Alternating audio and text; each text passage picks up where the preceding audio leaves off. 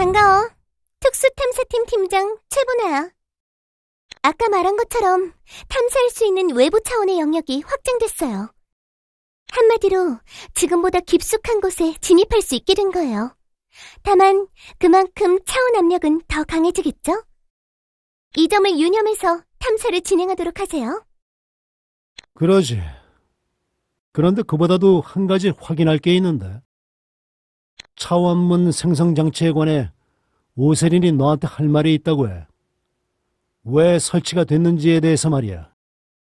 그거 말이군요. 신경 쓸 거 없어요. 그건 사소한 문제예요. 중요한 건 외부 차원을 육안으로 탐사할 기회가 찾아왔다는 사실 그 자체죠. 그러니 지금은 탐사에만 집중하도록 하세요. 오세린 요원에게도 그리 말해뒀어요. 그러지 말고 한번 자세히 알아보는 게 어때? 적들이 또 뭔가를 꾸미고 있는 걸지도 모르잖아? 괜찮다고 했잖아요. 책임자는 나예요. 얌전히 제 지시에 따르도록 하세요.